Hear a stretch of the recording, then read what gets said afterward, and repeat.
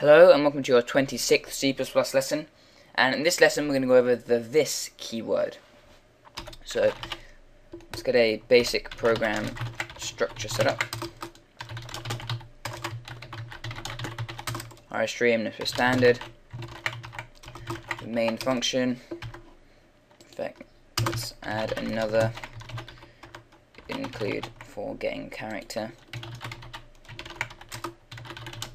Okay, so now what we're going to do is we're going to create a class, which I've imaginatively called class name.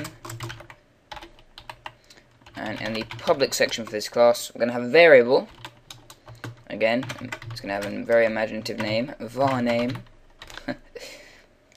and then we're going to have a function, called output var. And what it does is it takes an int which it calls varname.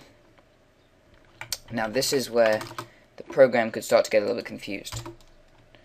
So we have is in the class we have a varname variable for the class and this function also takes a variable and it calls that variable varname. And all this is going to do is going to cout varname. Now this is where the issue comes in. Should it output this varname or should it output this varname? Right, let's create an object. So, class name, object, can go object dot output var. Oops, not bar. Output var. And we're going to give it 20. So what it's going to do, it's going to call output var with 20. So var name, the functions version, is 20.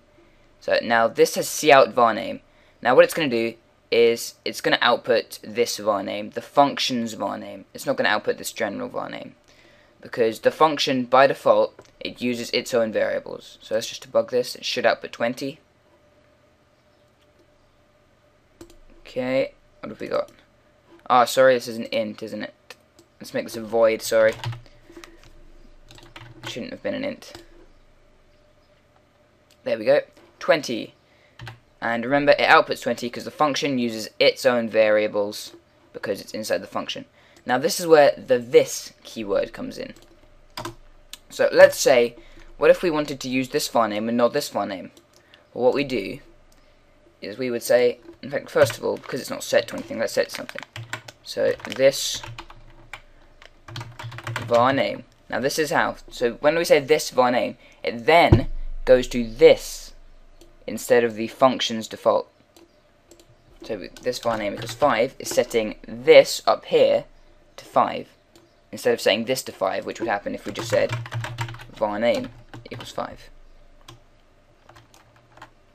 So this var name is 5 so that's 5 and we're just going to cout var name and then we're going to cout this var name.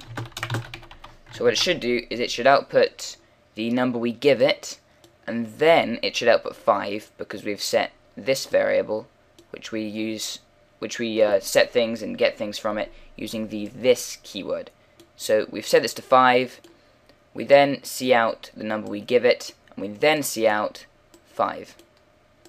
Okay, so let's just debug this. Remember, we're still giving it 20. Okay, 20 and then 5.